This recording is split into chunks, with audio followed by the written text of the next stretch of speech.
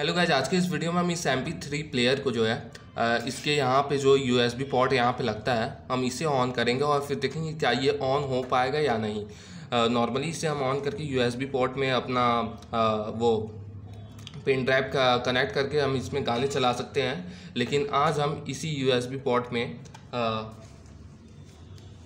इस केबल को कनेक्ट करेंगे और फिर इस बैटरी से चलाएँगे क्या? और फिर देखेंगे क्या ये जो मेरा है इस अ, मतलब कि एम पी थ्री प्लेयर ये चल पाएगा या नहीं? तो गैस नॉर्मली इसे हम 220 वॉट में कनेक्ट करते हैं और यहाँ पे पीछे इसका बैटरी वाला भी पार्ट लगा है तो हम इसे बैटरी से भी ऑन कर सकते हैं। तो अब हम इसे इस बैटरी से ऑन करेंगे और फिर देखेंगे क्या गाना बजेगा या नहीं। तो चलो हम इसे बैटरी से मतलब इस केबल में बैटरी जोड़ जोड़ देते हैं। तो गाइस जब तक हम इसमें बैटरी जोड़ रहे हैं जोड़ रहे हैं, तब तक आप मेरे जो चैनल को है सब्सक्राइब कर देना वीडियो को लाइक कर देना और इस वीडियो को अपने दोस्तों में भी शेयर कर देना। तो गाइस नॉर्मली पॉजिटिव में पॉजिटिव निगेटिव में निगेटिव इसमें लगा दे रहे हैं हम।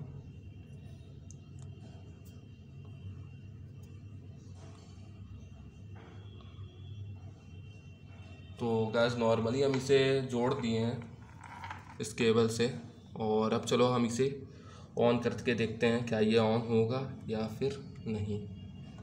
चलो।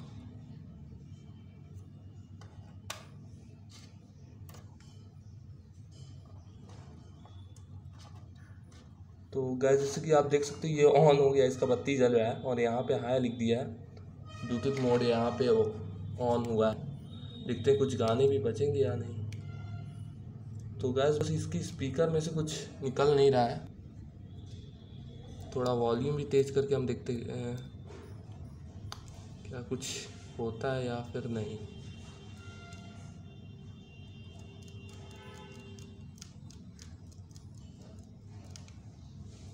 तो गैस कुछ आवाज़ तो स्पीकर में से नहीं आ रहा है। बस इसका जो है स्क्रीन ही ऑन हुआ है। और फ़ंक्शन भी इसका जो है धीरे धीरे हो रहा है। जैसे कि हम इसे बैटरी या 220 वॉट से कनेक्ट करते रहें तो जल्दी जल्दी होता रहा, लेकिन वैसा अभी नहीं हो रहा है। तो कुछ चल नहीं रहा है अभी इसमें। तो वॉल्यूम पहले कम कर दे रहे हैं। अगर हम इसे बाई चांस कहीं पे भी लगाएँगे तो तुरंत तेज़ गाना बजने लगेगा इसमें, नहीं तो।